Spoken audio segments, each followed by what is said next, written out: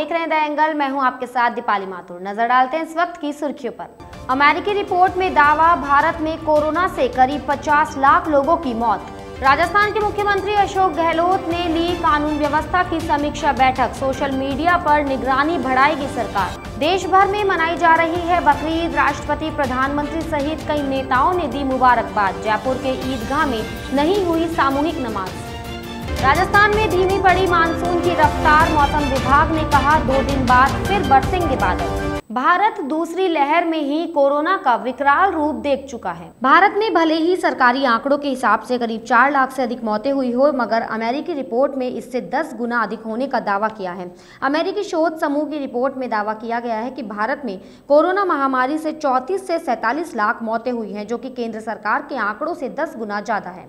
पश्चिम बंगाल की मुख्यमंत्री ममता बनर्जी और तृणमूल कांग्रेस आज राष्ट्रीय स्तर पर शहीद दिवस मनाएँगी। टीएमसी के गठन के बाद से हर साल 21 जुलाई को शहीद दिवस के रूप में मनाया जाता है।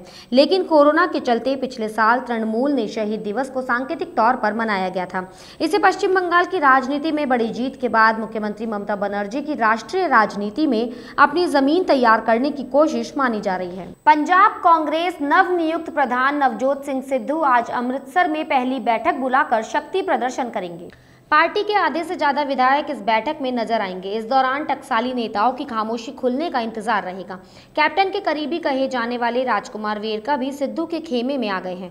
मुख्यमंत्री कैप्टन अमरिंदर सिंह पार्टी के टकसाली नेताओं की नब्ज टटोल रहे हैं। पार्टी के पुराने दिग्गज नेता अभी कैप्टन के साथ है और सिद्धू की नियुक्ति पर खामोशी साधे हुए हैं। दिग्गज नेताओं से रणनीति के बाद ही कैप्टन का अगला कदम तय होगा। जम्मू कश्मीर में लगातार आतंकी संगठन जम्मू संभाग को निशाना बनाने की साजिश रच रहे हैं। इसके लिए सीमा पार से ड्रोन का सहारा लिया जा रहा है। जम्मू में एक बार फिर से ड्रोन दिखाई दिया है। एक बार फिर से जम्मू के सतवारी इलाके में संदिग्ध ड्रोन देखा गया है। वहीं अभी इलाके में तलाशी अभियान जारी कर दिया गया है। प्रदेश की कानून व्यवस्था को लेकर मुख्यमंत्री अशोक गहलोत सख्त हो गए हैं। सीएम गहलोत ने कहा कि अपराध नियंत्रण राज्य सरकार की सर्वोच्च प्राथमिकता है। राज्य पुलिस जघन्य अपराधों को अंजाम देने वाले, माफिया और घटनाओं को सांप्रदायिक रंग देने वाले अपराधियों की धरपकड़ के लिए प्रभावी अभियान चलाने का निर्देश दिया है। सीएम गहलोत ने वीडियो कॉन्फ्रेंसिंग के ज़रिए प्रदेश में कानून व्यवस्था की स्थिति की गहन समीक्षा की। मुख्यमंत्री ने राज्य में हथियार लाइसेंस जारी करने की प्रक्रिया को अधिक तर्क संगत एवं पारदर्शी बनाने के लिए नई नीति तैयार करने के निर्देश दिए। बकरीद का त्योहार आज देश भर में पूरे उत्साह के साथ मनाया जा रहा है। बकरीद के मौके पर देश की सभी मस्जिदों में लोग नमाज़ अदा करने पहुँचे। बकरीद की नमाज़ अदा करते समय कोरोना दिशा निर्देशों का सख्ती से पालन किया गया। बकरीद के मौके पर पीएम मोदी, राष्ट्रपति रामनाथ कोविंद, राजस्थान के मुख्यमंत्री अशोक गहलोत समेत देश के बड़े नेताओं ने देशवासियों को ईद की मुबारकबाद दी। पीएम मोदी ने बकरीद के मौके पर कहा कि ईद मुबारक, ईद उल अजहा की हार्दिक शुभकामनाएँ। ये दिन सामूहिक सहानुभूति, सद्भाव और अच्छी सेवा में समावेश की भावना को आगे बढ़ाए। आज प्रदेश भर में ईद उल अजहा का पर्व मनाया गया। कोरोना संक्रमण के चलते जामा मस्जिद ईदगाह में सामूहिक नमाज़ अदा नहीं की गई। यहाँ चार से पाँच लोगों की मौजूदगी में नमाज़ अदा कर रस्म निभाई गई। ऐसे में समाजजनों ने घरों में ही सामाजिक दूरी की पालना के साथ नमाज़ अदा की। कुर्बानी के लिए खास इस दिन पर बकरों सहित अन्य जानवरों की कुर्बानी की गई। दिन भर दावत का सिलसिला घरों में जारी रहेगा। असल वरहमतुल्लाहि वबरकातुहू। सबसे पहले ईद उल अजहा की मुबारकबाद।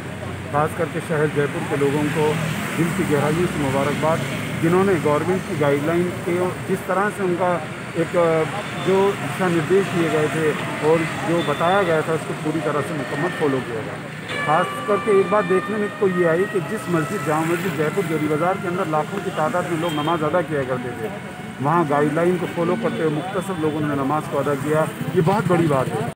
सबसे पहले तो ईद अजहा की सभी देश प्रदेश और जयपुर के वासियों की बहुत बहुत मुबारकबाद। और सबसे बड़ी बात इंपॉर्टेंट ये है कि जो आ, सरकार ने जो गाइडलाइन दी उसकी पालना के लिए हम पिछले चार पाँच दिन से सारे मौलाना हजरात और इमामों से संपर्क में थे कि ईद की नमाज़ सांकेतिक रूप से कम से कम लोग पढ़ें और ज़्यादातर लोगों से ये अपील की गई कि लोग ईद की नमाज़ घरों में पढ़ें और इलाके में अपने अपने इलाके में पढ़ें। ख़ास तौर से आज मुफ्ती साहब ने मुफ्ती अमजद साहब जो हमारे शहर की जामा मस्जिद के इमाम हैं, वो और नईमुद्दीन कुरेशी साहब जो सदर हैं इस कमेटी के, हम सब लोग इस प्रयास में थे कि कम से कम जो भारत भारत सरकार की, राजस्थान सरकार की गाइडलाइन है, उसकी पालना हो। राजस्थान के कई जिलों में मानसून की अच्छी बारिश हुई। मौसम विभाग के मुताबिक अब बारिश के दौर में कुछ कमी हो सकती है। दो दिन के बाद तेईस जुलाई को भीलवाड़ा, बूंदी, कोटा और 24 जुलाई को डूंगरपुर, सिरोही, उदयपुर और जालोर जिलों में भारी बार, रिपीट, और जालोर जिलों में भारी बरसात की संभावना है। वहीं बरसात के कारण तापमान में भी गिरावट हुई है। इस बुलेटिन में फ़िलहाल इतना ही। अगर आपको हमारा वीडियो पसंद आया हो तो हमारे चैनल को लाइक, शेयर और सब्सक्राइब ज़रूर करें।